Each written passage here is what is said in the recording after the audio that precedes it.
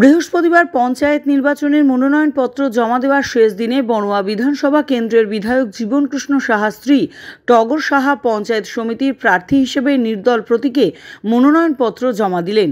বনোয়ার বিধায়ক জীবনকৃষ্ণ সাহা বর্তমানে নিয়োগ দুর্নীতি মামলায় সিবিআই হেফাজতে রয়েছেন। বিধায়ক জীবনকৃষ্ণ সাহা সিবিআই হেফাজতে থাকাকালীন পঞ্চায়েত নির্বাচন হচ্ছে বনোয়ায়। তবে ওই পঞ্চায়েত নির্বাচনের প্রার্থী তালিকা গতকালই প্রকাশ করা হয় জেলা তৃণমূলের পক্ষ থেকে। সেখানে গ্রাম পঞ্চায়েত পঞ্চায়েত সমিতি বা জেলা পরিষদের তালিকাতে বিধায়ক জীবনকৃষ্ণ সাহা স্ত্রী টগর সাহার নাম নেই।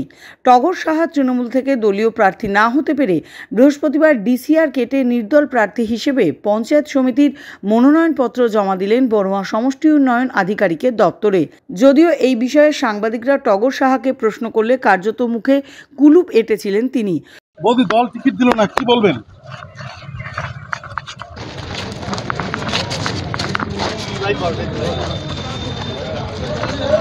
অন্যদিকে তৃণমূল কংগ্রেসের পক্ষ থেকে এই ঘটনার পর বলেন বিধায়ক জীবনকৃষ্ণ সাহাস্ত্রী নির্দল হিসেবে দাঁড়িয়েছেন সে বিষয়ে তারা জানেন না।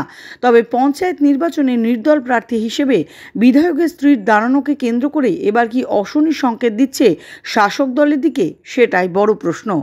আমি বললাম তো এই বিষয়ে আমি কোনো মন্তব্য করব না কারণ আমাদের জেলা নেত্রী মাননীয় শাওনী সিংহ রায় মহাশয় রয়েছেন। এবং অপূর্ব সরকার রয়েছেন আমাদের জেলা চেয়ারম্যান তিনারা বুঝবেন এই বিষয়ে।